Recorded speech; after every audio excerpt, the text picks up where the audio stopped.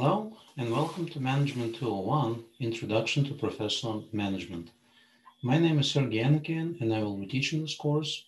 We're doing it online. It is asynchronous, but uh, unlike the previous sections where I taught this class online, I have decided to record my video lectures so that you have them at your disposal.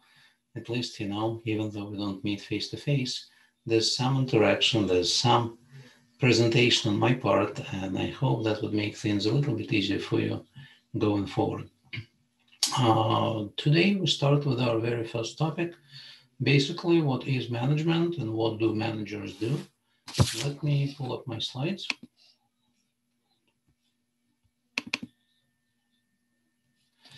And um, we won't really talk much about management history because I think this is something that you can easily read up in a textbook, uh, but the rest of the stuff uh, I'll try to cover briefly. These lectures will not necessarily take uh, very long. I will just highlight things that I believe to be important and that I think will be beneficial for you to hear from me and not necessarily read uh, in a textbook. So uh, there are several things that I will cover today. I'll start with communication, how you get a hold of me, uh, how we communicate throughout this course. Uh, and then we move on to the course content as such. We'll talk about managers and manager responsibility, management skills, management functions, roles, levels of management, types of managers, and then depending on how we do on time, uh, I may touch briefly on some key points uh, in history of management and some of the newer challenges that managers face right now. Uh, some items where they do not really have guidance from uh, the scholars, where there's a lot of new knowledge that needs to be created, and where you guys, as you become managers, will probably have something to say and something to add to our understanding of management. So I'll start with communication. Uh, the course is primarily conducted via D2L. So all the video lectures will be there, all the assignments are there. This is how you submit your stuff to me, and this is how I communicate to you.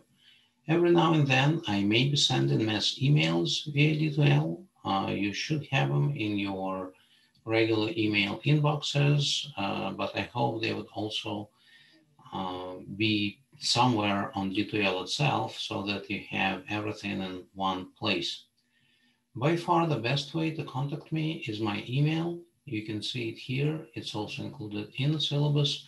The syllabus itself is uploaded onto D2L, and I hope you guys have had a chance to uh, get familiar with it. Uh, if there are any issues there, if something makes you feel uncomfortable or insecure, please email me. I'll be more than happy to either uh, respond your email or send a mass email to everyone to make sure that uh, we're all on the same page. Um, you may also try to reach me via my phone. With the coronavirus, I'm not very likely to be in my office, but I will receive a voicemail. So there's something you need to tell me, you can use this one as well. Uh, my office is 325 in the Centennial Hall. But again, uh, this being a strange time in our lives, uh, I do not expect to be there necessarily on any schedule. Instead, I maintain my office hours virtually. So any day between 11 uh, and 1, you can uh, get a hold of me uh, via Zoom the only thing I ask is uh, if you contact me beforehand, saying that this is the time when you would like to meet. And uh, I guarantee my availability during that specific time block, but I'm fairly flexible. And if those times do not work for you, I'll be more than happy to schedule you for some other time. So now let's move on to managers and manager responsibility. Uh, first of all, when we talk about management, what do we really mean? And in the organizational context, business context, when we talk about management, we talk about achieving organizational objectives through efficient and effective utilization of resources. Now, what resources are we talking about? Human, financial, physical, and informational. So obviously, you know, you need all of those to, to make sure that your business succeeds but human is probably the key in all those cases because even organizations that have uh, largely identical financial, physical, and informational resources may have different performance, and that performance will be attributed to the human qualities, to the quality of human capital that the business has. So uh, we will be spending uh, quite some time trying to figure out how to motivate employees, how to select employees, train them, retain them, promote them, how to deal with conflicts, uh, all of that stuff. That is absolutely critical. Uh, it's a critical part of a manager's job. To do the job well, a manager needs to have certain skills. Right, there are three groups of skills that we typically attribute to effective managers technical, interpersonal, and decision making. And all of those are important, right? If you manage in a, a manufacturing facility, you obviously have to have some some level of technical skills because manager job implies uh, dealing with people having interpersonal skills is absolutely essential. And uh, every now and then uh, you will find yourself in a situation where you've got to make a decision right? So there may be policies there may be procedures and rules for most typical situations but in the life of any company, there are situations that have never been described in, in manuals or policy books. And this is where you have to exercise your own judgment and make decisions. So the ability to make decisions, the ability to make those decisions well, is also critical for your success as a manager. Uh, in terms of what managers do, right, there are four functions that we primarily associate with managers. It all starts with planning, right? This is where you set objectives and determine how they will be met. You obviously have to know where the company is going. Otherwise, it makes very little sense to try to organize the resources, right? You've got to have some objective function that you try to maximize. You have to have some long term, medium term, and short term goals You've got to be able to uh, make sure they are compatible. You need to be able to reconcile potential conflicts that you find between those goals. So uh, you've got to be able to set objectives and determine how they will be met. Once that is in place, it's time for you to practice your organizing function, right? And that includes staffing as well. You need to figure out which tasks will be yours and yours alone, and which you can safely delegate to others. You need to be able to identify who those tasks will be delegated to. You have to be able to coordinate the activities uh, of those individuals to whom you've delegated tasks. And you also need to allocate resources to those individuals, to different units within the organization to make sure that your objectives are achieved you also need to be a leader, right? So leading is the third function of management. And this is all about influencing employees to work towards achieving objectives, right? You cannot really expect that just by putting people in place just giving them certain tasks, they would really do their best to, to get you closer to your objective. You need to uh, lead them, you need to motivate them, you need to give them example. You need to empower them. Uh, you need to control them, if you will. Uh, and controlling is the final fourth function of management. It's not necessarily exciting, right? It's not exciting to uh, be this watching eye at all times to to you know monitor people to see if what they do is consistent or inconsistent with company policies but monitoring and managing progress taken corrective actions when needed to ensure objectives are achieved is an absolutely essential function of management. So, uh, one thing I, I want to say here we sometimes fail to distinguish between managers and leaders, and management and leadership. As you can see from these four functions of management, leading is one of the functions of management. So management is a broader category than leadership. And this is something I want you to retain.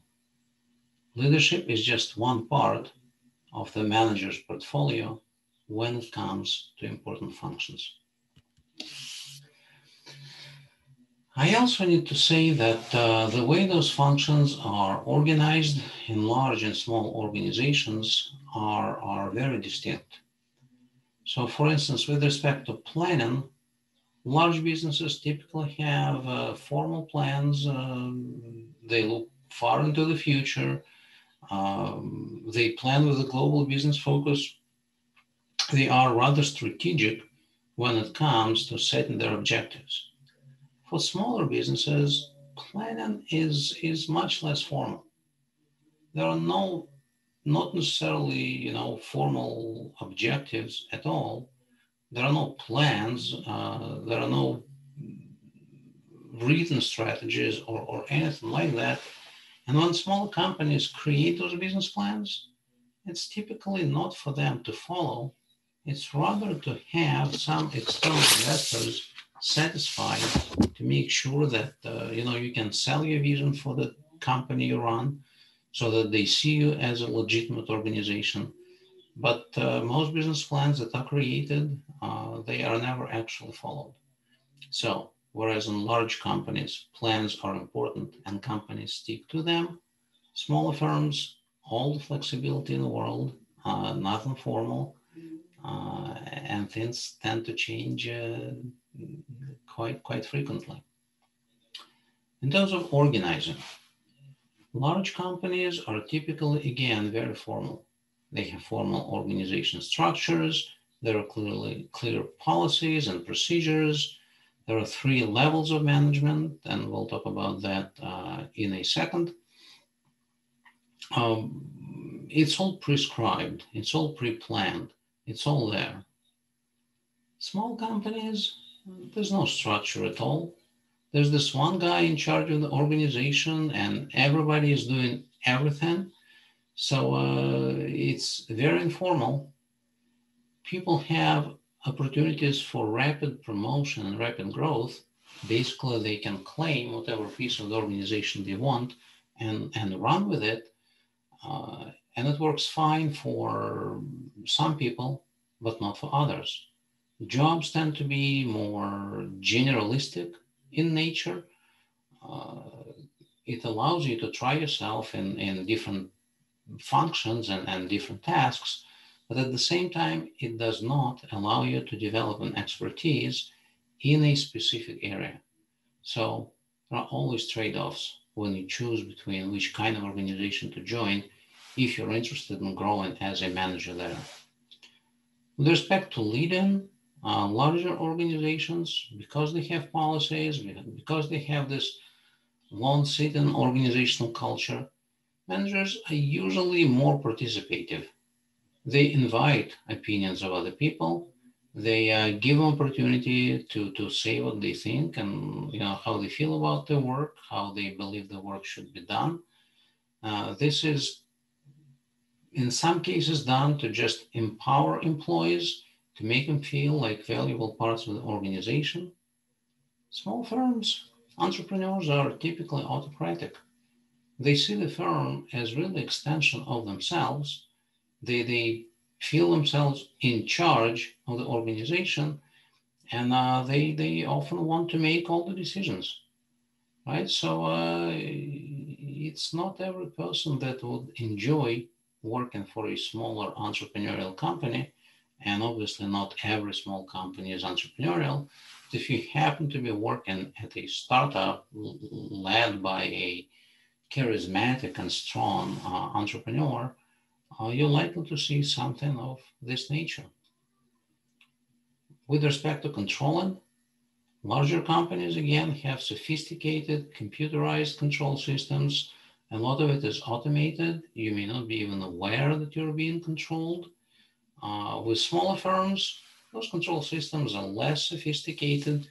Uh, you have to rely more on direct observation when, when controlling and monitoring your employees. So again, a very different feel for what happens inside the organization. even though the function themselves are the same. It's just how they manifest is, is vastly different. And uh, important management roles also differ substantially from, uh, well, between larger and smaller organizations. In larger organization, as a manager, your primary task is really allocating resources, identifying the kind of activities that need your support and those that do not. Whereas in smaller firms, managers will play more of an entrepreneurial role, spokesperson role, trying to sell this business, to peddle the business to, to outside constitu- constituents. So again, a, a very different kind of a management profile that would fit larger and smaller organizations. Uh, for that reason, actually, when the company grows, when you start as a as a small entity, and if you're even if you're successful initially, there comes a point where the original entrepreneur is very likely to be replaced by a professional manager. In rare cases, would the person who started the business, if it grows fast, will remain at the helm of the organization especially if the company is supported by professional investors like venture capitalists, they would actually, you know, it's almost ironic. The better you do as a manager at your startup, the faster your company grows, the more likely you will be replaced for a professional manager once your company reaches a certain level. So it's like a curse of a successful entrepreneur. In terms of management roles, we distinguish between interpersonal, informational, and decisional roles. So interpersonal roles, obviously manager is a leader, a liaison, and in some uh, situations a figurehead, figurehead. In terms of the information role, um, the manager collects information. So this is where monitoring comes uh, in. Manager disseminates the information and manager also a spokesperson, both within the company and to the outside world. So, you know, everything that has to do with flow of information, regardless of, you know, whether it's completely internal to the firm, whether it's connections to the outside network, uh, that is also all part of the management roles that uh, they may be expected to play. And finally, the decisional role, right? uh, as a manager, you will be making decisions. And so there you would play uh, roles such as entrepreneur, organizing things, uh, identifying opportunities, deciding which opportunities to go after. Uh, you'll be a disturbance handler. Wherever there are people involved, uh, there are conflicts. Right? There are things that go not along to the plan. So you have to be able to reconcile different viewpoints, to have different parties reach some sort of understanding and agreement, and uh, there's no way around it. It has to be someone with authority who can make things happen, so it naturally falls to you, the manager, to, to get the thing done. You allocate resources in your decisional capacity, right? You decide which projects to support and at what level. And finally, you negotiate you negotiate with your own employees, you negotiate with outside entities, you negotiate with banks, you negotiate with suppliers, buyers, government agencies. So that all falls uh, to you, which is why being a manager is, is one hell of a job, right? So it's rewarding at so many levels, uh, but it also drains you emotionally, physically, and psychologically. So that's something that you need to be prepared for uh, levels of management. Traditionally, we have distinguished between three layers of management uh, first line managers, also sometimes called frontline managers, mid level managers, middle managers here, or top level management. Uh, first line managers are the closest to uh, the end consumers they're the ones that will be interacting with people who actually buy your, your product or, or services. They would be able to provide some feedback from them to, to the top leader within the organization. And as such, they are absolutely critical. Mid-level managers, as the definition implies, would be right above first line managers and below top managers. And then top management level typically starts with the positions of vice, vice president and above. That also varies from industry to industry. For instance, if you happen to be working for a banking industry, a vice president there is not quite such a powerful person. It's more of a sort of honor term, if you will. It, it, indicates that the company respects you and they value your contributions. But in terms of leeway that you have as a manager, VP in banking would not really do much for you. Uh, in most other industries, VP and up, definitely the C-suite, you know, CEO, CFO, CTO, Chief Technology Officer, those people would be considered top level managers. And uh, recently, there's been a newer approach to organizing levels of management where people may be put into positions of team leaders or project managers, which effectively implies that within that project that they are responsible for, they have the top management responsibility without formally being a top manager.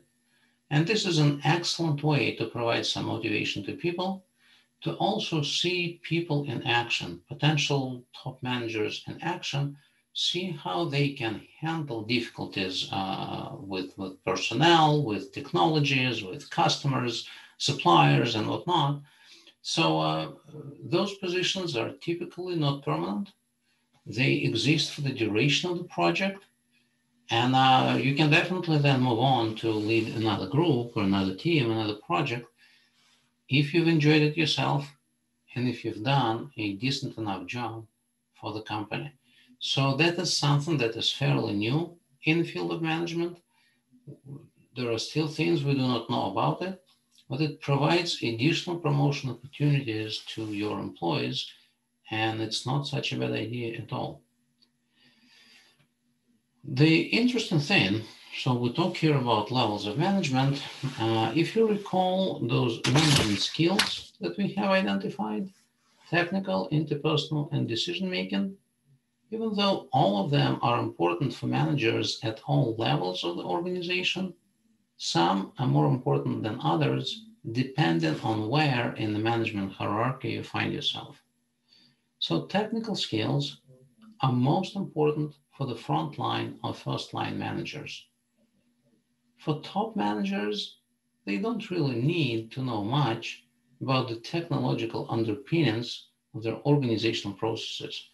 And for that reason, as you look at really large companies and people who manage them as CEOs, it's not at all uncommon to see companies hire CEOs from outside of their own industries. And the belief is that uh, at the very top, managerial tasks are, you know, things like strategizing or financial planning or whatever the case might be, are actually fairly similar across companies regardless of the industry. Whereas for the frontline managers or first line managers, understanding the technology, understanding you know the, the, the, processes is absolutely essential because this is where products and services are manufactured, delivered, and this is where the interaction with uh, final customers occurs. So for first line managers, the most important skills are technical. For top managers, the most important skills are decision making skills. For mid level managers, they're actually in trouble. They kind of need to have all three technical, interpersonal, and decision making skills. And, uh, you know, they, they, they need all three because they still need to communicate to frontline managers, but they also potentially at some point will reach the top management level in the organization. So they have to have those decision making skills developed so that the top managers can assess whether or not these mid level managers make for a good material for potential promotion. And uh, because of it, mid-level managers are typically overloaded. They are probably the most vulnerable position within an organization. If your company is taken over, uh, your mid-level managers would probably be the first ones to go, right? So in that case, the organizational structure will become flatter. The workload for top managers will increase. Frontline managers will probably stay where they are because they are ultimately, you know, as close as you get to the customers. Mid-level managers are overworked. They are under under a lot of stress, possibly undercompensated. So uh, it only makes sense to get there if you see that as a stepping stone towards your ultimate career, which uh, in this hierarchy uh, is represented by uh, top managers. All right. And then with respect to the types of managers, uh, in the most general sense, we distinguish between general managers and functional managers. General managers are really in charge of everything. So if you go to a uh, Dollar General, there will be a general manager who bears ultimate responsibility for everything, right? So it's up to him to organize the processes, to hire people, to to you know deal with finances, to do everything. So uh, I don't remember what the saying is, like inch deep and mile wide. So that's that's the idea, right? You have to be a generalist you have to have some skills in, in many different areas uh, to be able to be effective general manager to, to provide guidance to everybody else. Then there are functional managers, right? These are people who have expertise and responsibility for a specific functional area within the business. So you may have someone who's in charge of marketing, someone who's in charge of operations and production, someone in charge of finance, accounting, and someone who does human resource and personnel. So in that case, you actually do need a very deep expertise in that specific domain. The good thing is that nothing else is expected of you. If you're a marketing manager, no one really expects that you know the intricacies of the, you know, hiring policies. If you're in operations, then maybe they don't expect you to know accounting. So you could develop expertise. You could become particularly useful to your company, but at the same time, you're kind of limited and then silo. So your opportunities for growth because of that are somewhat limited. It's very hard to break through those silo barriers and uh, move into a general manager position. And then finally, again, uh, we talked about that just a few minutes before, there are project managers. And you may think of them as general managers at a smaller scale. So typically those projects have a pre-specified duration. Uh, they are not as wide in scale and scope as uh, you know, the organization as a whole. So project managers are kind of similar to general managers, just at a lower level. And if you succeed there as a project manager, if you showcase your skills, if you show that you can be effective and addressing whatever needs that project had, then you probably stand a good chance of being promoted up to the general management manager uh, level. Now, history of management. Again, this is something where I would suggest you probably read your textbook uh, most. I will just touch on the key points. Um, up until late 19th, early 20th century, no one really thought systematically about management. People were organizing their activities in old traditional ways. Uh, no one was seeking any specific novel ways of improving efficiency it was really not until the development of the assembly line and, and similar uh, organizational innovations that people started thinking about management scientifically right? So the idea back then was that uh, there's got to be one best way to organize operations that increases the outputs per capita within the company. So there were a lot of early studies as to how to organize operations within the company, how you know the semi-finished products should move through the assembly line, how the assembly has to be conducted, how much time workers have for each operation, you know, the, the specific organization of their working environment, all of that. And that had a uh, major impact on improving performance of many, many companies. Administrative theory is just an extension of the scientific management. They added a few elements, but uh, you know, altogether, scientific management and administrative theory are now referred to as the classical theory of management.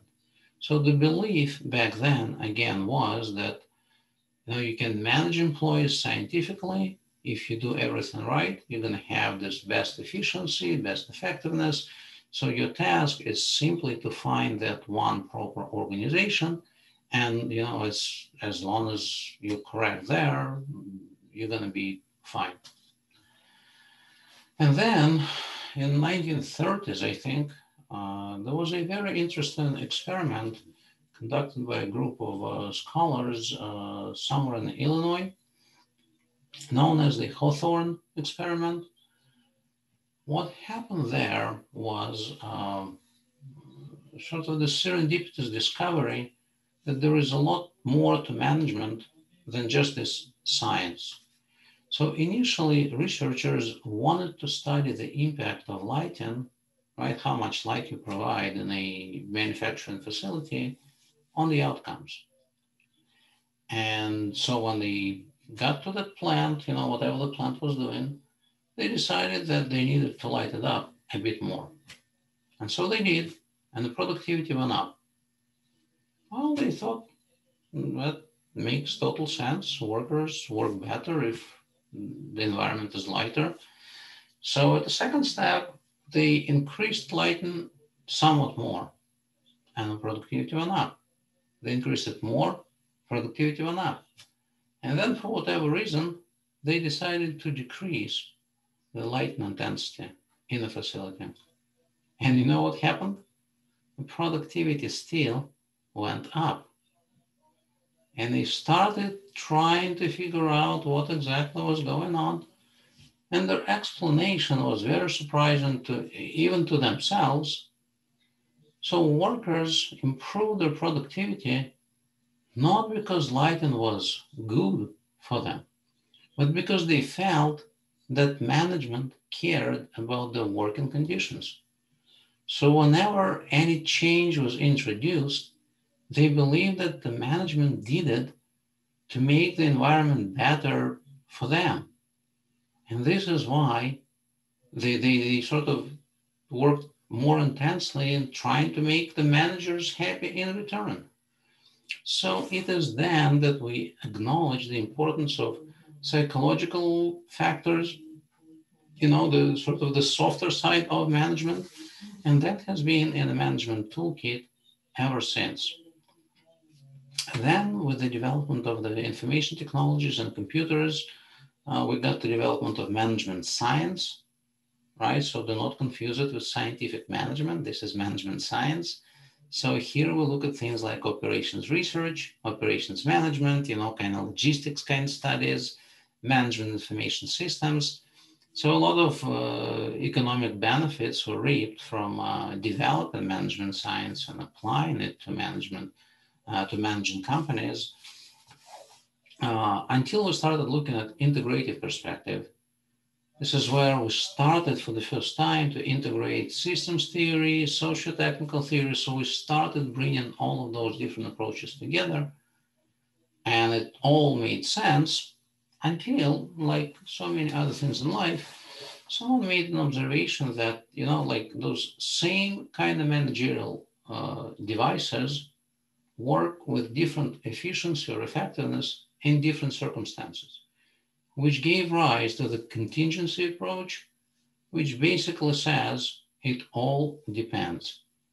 And probably the last 50 years or so, uh, scholars were trying to figure out what those factors are that determine relative effect of different approaches to organizing the activities on the final outcomes, right? So uh, I don't know if this is particularly instructive to just say that it all depends, but this is where we are, just trying to find those factors that explain the relative effectiveness of one factor or another factor in uh, influencing whichever organizational outcome we're interested in. Uh, there are some videos on the history of management that I would ask you to watch. We are not going to do that as a part of this presentation, just to save time. The links are embedded into my PowerPoint slides, which are available on D2L. So I definitely encourage you to spend a few minutes and uh, take a good look uh, at that. And uh, finally, some of the newer challenges in management that render a lot of our thinking about the effects and, and management strategies sort of obsolete. Right? There's this rapid technological development. All of a sudden, it's not uncommon to have virtual teams that connect remotely from anywhere in the world, and we don't really know how to manage those teams. So there's been some research into how to do it best, but uh, you know it hasn't been around long enough for us to really draw any conclusions. So technological development and, and changing the tools that we use and changing the way that our work is organized. You know, even now with COVID, with a lot of people working remotely, we don't really know what to expect. We don't know how to organize it people are not ready, companies are not ready. In a way, you guys are advantageously positioned because you're still young. You know, if you accept this remote way of organizing work as something that is normal, you'll stand a much better chance to succeed in, in future industries. So, but again, we cannot really provide you much guidance just yet. Globalization is a major challenge Right? So now companies can attract the best qualified workers from anywhere in the world, which brings with it a lot of benefits, but also a lot of challenges.